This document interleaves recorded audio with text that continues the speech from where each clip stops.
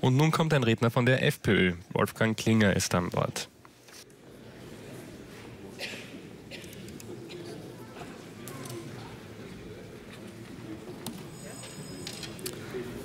Sehr geehrter Herr Präsident, geschätzte Damen und Herren des Plenums, äh, geschätzte Zuhörer und Zuseher im Internet oder via Fernsehen. 1986 habe ich meinen Jagdschein gemacht, beziehungsweise meinen Flugschein gemacht und 1990 habe ich die Jagdschutzprüfung gemacht und gleichzeitig den Berufspilotenschein. Ich habe mir heute für meine Erstlingsrede dieses Thema ausgewählt, diesen Initiativantrag, weil ich geglaubt habe, naja, das ist ja ganz einfach. Dieser Initiativantrag, der wird für mich als Berufspilot ja gar kein Problem darstellen.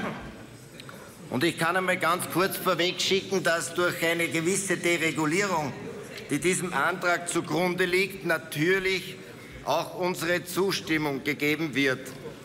Man muss allerdings hier bei diesem Antrag schon gewaltige Unterschiede machen, nämlich dahingehend, dass es sich im ersten Bereich dieser Gesetzesänderung wahrscheinlich um Hubschrauberflüge handeln wird.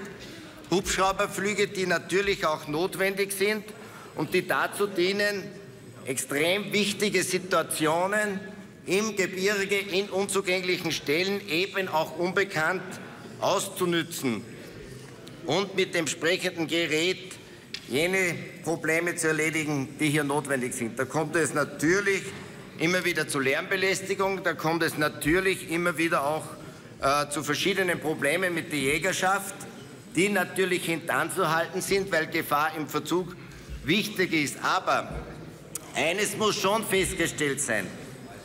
Gefährlich hier ist besonders die Landung, weil die Landung immer ein Akt ist, der plötzlich stattfindet und für die Umgebung plötzlich Lärm oder andere Belästigungen eben eintreten. Allerdings ist es hier klar festzustellen, dass es wichtig ist, diese Änderung im Gesetz zu machen. Das Zweite allerdings, da wird die Sache schon etwas schwieriger. Da geht es um die Heißluftballons, um die Segelflugzeuge, da geht es um äh, Motordrachenflieger oder Freiballone.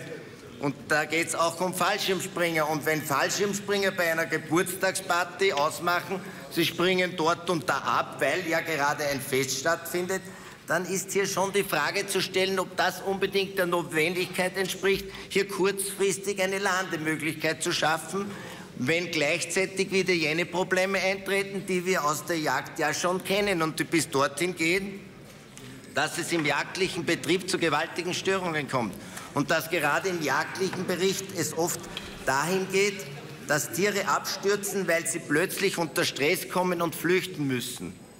Und da müssen wir vorsichtig sein, dass wir in diesem Zusammenhang nicht das Kind mit dem Bade ausschütten. Die dritte Sache in dieser Gesetzesänderung ist jene nämlich, wo es um die Feuerwerkskörper geht. Feuerwerkskörper meines Erachtens in der Nähe von Zivilflugplätzen sind äußerst vorsichtig einzusetzen. Ich kann Ihnen auch sagen, warum. Bei jedem Zivilflugplatz gibt es auch die Möglichkeit einer Notlandung oder einer verspätet angemeldeten Landung. Das heißt im Klartext, ein Flugzeug, das sich in der Luft befindet, bleibt ja nicht auf der Straße stehen, wenn es unterwegs ist, Probleme hat, sondern es muss seinen Zielflughafen erreichen können, sicher erreichen können. Und wenn wir da zulassen, dass wenn zum Beispiel in der Nähe eines Zivilflughafens um 11 Uhr Dienstschluss ist oder 23 Uhr und aber nachher noch ein Flugzeug angemeldet wird, was übrigens auch Kosten für das Flugunternehmen bedeutet, dann stelle ich mir die Frage, was wichtiger ist, nämlich die Genehmigung für ein Feuerwerk oder die Sicherstellung des sicheren Betriebes eines Flugzeuges.